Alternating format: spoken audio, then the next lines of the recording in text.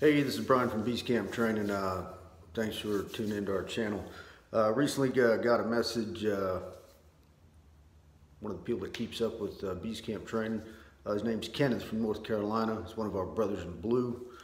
He's out there in North Carolina doing what needs to be done on the streets of North Carolina. So stay safe out there, brother. Um, anyways, uh, we got to talking back and forth and he's put on a he's put on a little bit of weight. You know, life got in the way. Shit happens. Is what it is, right?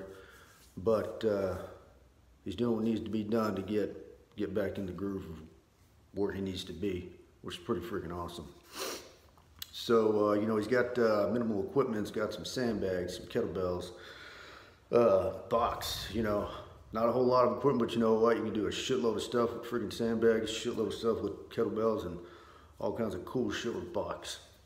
So uh, this video, it's, uh, it's a sandbag uh, circuit that, uh, that I went through, put together tonight. Uh, I'm using a 75 pound sandbag. It's about four rounds, about two, three minutes rest between each round, depending on where your fitness level's at. Uh, so the video is it's my last round. Um, I'm pretty smoked uh, you know, do do do what you can. I mean, if you can't make the four rounds, you can't make the four rounds. Do what you can. Try to take the least amount of rest possible between each each round. But if you need longer than two, three minutes, then it is what it is.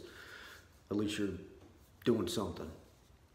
Uh, but anyways, uh, I just want to give a shout out to Kenneth. We like to keep up with people that keep up with us. And uh, definitely our brothers and sisters in blue. So uh, hope you enjoy the circuit. If you like it, uh, leave us a comment, shoot us a message. Uh, check us out on Facebook at Beast Camp Training, on Instagram, Beast Camp Training HC. You can reach us at any one of those and phone number, email, whatever works. And we'll definitely get back to you if you want to make a video on something that you got questions on or uh, maybe uh, put together some kind of workout for whatever reason you got, we'll be more than welcome to help. So uh, again, thanks for watching and uh, hope you enjoy the workout. Check it.